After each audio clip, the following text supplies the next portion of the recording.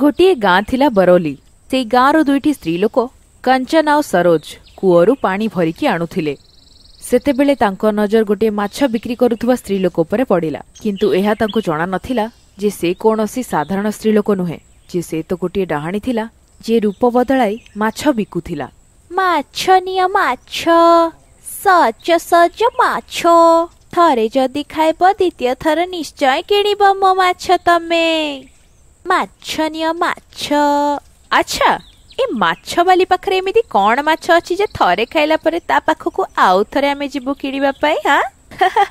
କିଛି ତ ନିଶ୍ଚୟ କଥା ଥିବ ତା ମାଛରେ ଚାଲ ଯାଇକି ଦେଖିବା ଦୁଇ ଜଣ ସେଇ ମାଛବାଲି ପାଖକୁ ଗଲେ ଆରେ ବା ମାଛ ତ ବହୁତ ସତେଜ ଦେଖାଯାଉଛି ସତେଜ କାହିଁକି ହବନି ଆରେ ମୁଁ ପା ଏବେ ମାଛ ଧରିକି ଆସିଛି ନଦୀରୁ କୁହ କେତେଟା ନବ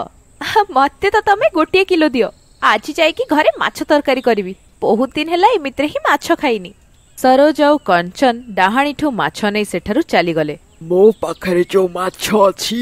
ତାକୁ ଖାଇଲେ କ'ଣ ହବ ସେ ନିଜେ ହିଁ ଜାଣିନାହାନ୍ତି ମୁଁ ତ ଚାହୁଁଛି ଜଲ୍ଦି ଜଲ୍ଦି ଖାଆନ୍ତୁ ସରୋଜ ଆଜି ସେଇ ମାଛ ନେଇ ତାକୁ ରାନ୍ଧିକି ରଖିଲା ସରୋଜର ସ୍ୱାମୀ ତାକୁ ଦେଖି ବହୁତ ଖୁସି ହେଇଗଲା କ'ଣ ହେଲା ହଁ ଆଜି ଏଇ ମାଛ କୋଉ ଖୁସିରେ ବନେଇଛୁ ତୁ ଆରେ ଏମିତି କିଛି କଥା ନାହିଁ ଗାଁ ମୁଣ୍ଡକୁ ଗୋଟେ ସ୍ତ୍ରୀ ଲୋକ ଆସିଲା ମାଛ ବିକିବାକୁ ସେଇଥିପାଇଁ ରଖିଦେଲି ଆଉ ହଁ କେତେ ସୁନ୍ଦର ଗନ୍ଧ ଆସୁଛି ମୁଁ ତ ଆଉ ରହିପାରୁନି ମାଛର ସ୍ୱାଦ ଦେଖି ସବୁ ମାଛ ଦୁଇ ଜଣ ଖାଇଗଲେ କିନ୍ତୁ ମାଛ ଖାଇବା ପରେ ହଠାତ୍ ସେ ଦୁଇ ଜଣଙ୍କ ଆଖି ଲାଲ ହୋଇଗଲା ଆଉ ଧୀରେ ଧୀରେ ଦୁଇ ଜଣ ମାଛରେ ବଦଳିଗଲେ ସେତେବେଳେ ସେଠାକୁ ଡାହାଣୀ ଆସିଲା ଏଇଆ ତ ମୁଁ ଚାହୁଁଥିଲି ତମେ ଦି ଜଣ ମାଛ ଅବତାରରେ କେତେ ସୁନ୍ଦର ଦେଖାଯାଉଛ ଗୋଟିଏ ଗୋଟିଏ କରି ମୁଁ ସମସ୍ତଙ୍କୁ ମାଛ ବନେଇ ଦେବି ଆରେ ତୁ ତ ସେଇ ମାଛ ବାଲି ଯେ ମାଛ ଦେଇଥିଲା ହାଏ ମାଛରେ ତୁ କ'ଣ ମିଶେଇକି ଦେଲୁ ମୁଁ ଆଉ ମୋ ସ୍ୱାମୀର ଏମିତି ଅବସ୍ଥା ହେଲା ଜଲ୍ଦି ଠିକ କର ଆମକୁ ନିଶ୍ୱାସ ନେଇ ପାରୁନୁ ଆମେ ଏଠି ସେତେବେଳେ ଡାହାଣୀ ତା ନିଜ ରୂପକୁ ଆସିଲା ତାକୁ ଦେଖି ସତ୍ୟ ଆଉ ସରୋଜ ଦି ଜଣଙ୍କ ଆଖି ଖୋଲାକୁ ଖୋଲା ହିଁ ରହିଗଲା ହେ ମା ଇଏ ତ ଗୋଟେ ଡହଣୀ ତମେ ଆମ ସହିତ ଏମିତି କାହିଁକି କରୁଛ ଆମକୁ ଛାଡ଼ି ଦିଅ ବାସ୍ ଆଉ କିଛି ସମୟ ଅପେକ୍ଷା କର ତାପରେ ଜାଣିଯିବନି ଯେ ସେପଟେ କାନ୍ତା ଆଉ ତା ସ୍ୱାମୀ ବି ମାଛରେ ପରିଣତ ହୋଇଯାଇଥିଲେ ଡାହାଣୀ ସମସ୍ତଙ୍କୁ ଟୋକେଇରେ ମୁଣ୍ଡେଇ ନଦୀକୁ ନେଇଗଲା ଆସ ମୋର ଛୁଆମାନେ ଦେଖ ତମ ପାଇଁ ମୁଁ କେତେ ଖାଇବା ନେଇକି ଆସିଛି ତାପରେ ନଦୀ ଭିତରୁ ଦୁଇଟି ମାଛ ବାହାରକୁ ବାହାରିଲେ ଯାହାର ଅଧା ଶରୀର ମାଛ ଭଳି ଥିଲା ଆଉ ଅଧା ଶରୀର ମଣିଷ ଭଳି ଆସିଗଲ ମୋର ଧନ ଚିଣ୍ଟୁ ପିଣ୍ଟୁ ବୋଉ ଅନଉଛୁ କଣ ଶୀଘ୍ର ଏଇ ମାଛ ଆମ ମୁହଁରେ ପୁରେଇ ଦେ ବହୁତ ଭୋକ ଲାଗିଛି ଶୀଘ୍ର କର ବୋଉ ଡାହାଣୀ ଗୋଟିଏ ଗୋଟିଏ କରି ଚିଣ୍ଟୁ ପିଣ୍ଟୁଙ୍କ ମୁହଁରେ ମାଛ ରୂପୀ ମଣିଷଙ୍କୁ ଭରି ଦେଇ ଯାଉଥିଲା ବୋଉ ତୁ ସବୁଦିନ ଗୋଟେ ମଣିଷ କାହିଁକି ଆଣୁଛୁ ଆମ ପାଇଁ ଆମର ଗୋଟେ ମଣିଷରୁ ପେଟ ଭରେନି ତୁ ଏଇ ନଦୀରୁ ଏତେଗୁଡ଼ା ମାଛ ନେଇକି ଯାଉଛୁ ଆଉ ଆମ ପାଇଁ କ'ଣ ଆଣୁଛୁ ହଁ ଗୋଟେ ମଣିଷ ଏମିତି ହବନି କାଲିଠୁ ଯଦି ଗୋଟେରୁ ବେଶୀ ମଣିଷ ନ ଆଣୁଛୁ ତୁ ଜାଣିଛୁ ନା ଆମେ କ'ଣ କରିବୁ ଶାନ୍ତ ପଡ଼ ଛୁଆମାନେ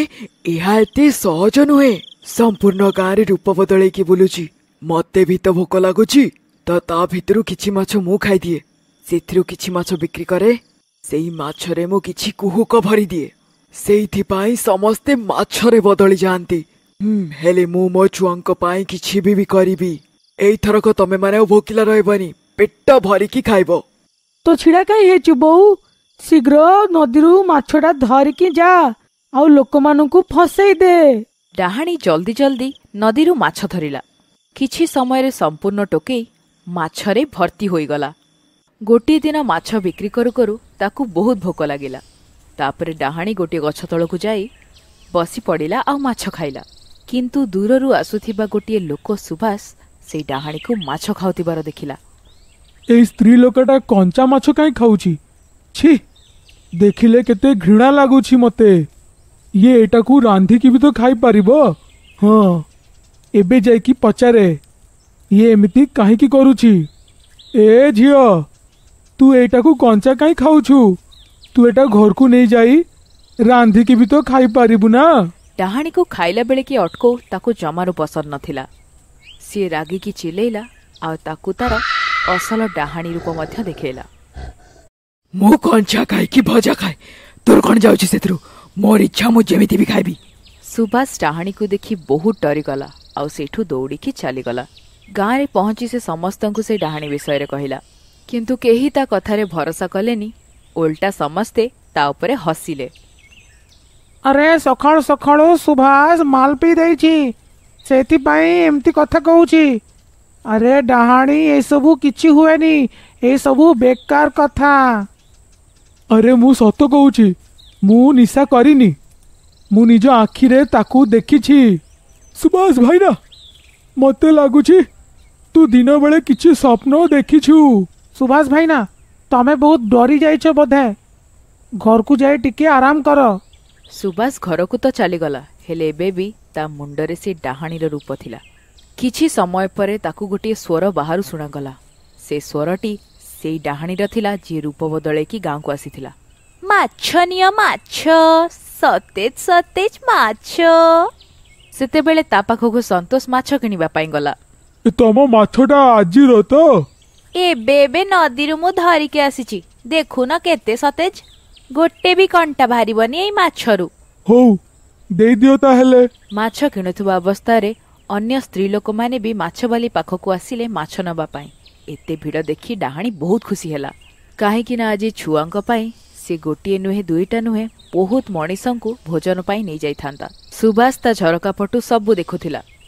ଏବେ ହିଁ ମୁଁ ଏ ସ୍ତ୍ରୀ ଲୋକକୁ ଦେଖିଥିଲି ସେଇଠି କଞ୍ଚା ମାଛ ଖାଉଥିଲା